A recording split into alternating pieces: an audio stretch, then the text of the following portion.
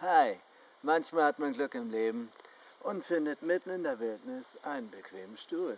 Ja, oder man findet eine Ancient Hopi Flute, so wie bei Northern Lights Flutes.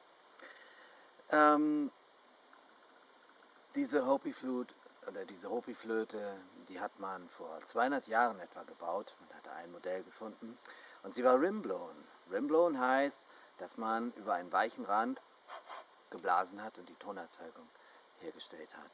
Das habe ich anders gemacht. Ich habe hier ein Kennermundstück gemacht, ein Easy Kennermundstück, so wie ich es erfunden habe.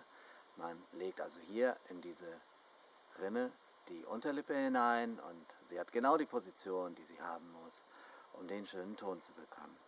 Diese Flöte ist pentatonisch, das heißt, jeder Ton passt zueinander, ähnlich wie bei den Native American Flutes.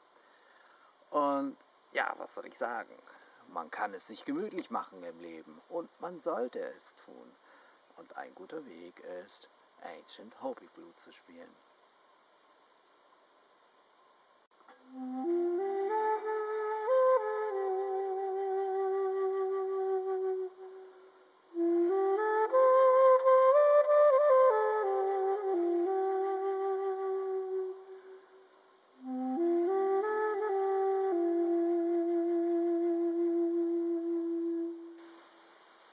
Vielleicht versucht ihr es einmal mit der Gemütlichkeit.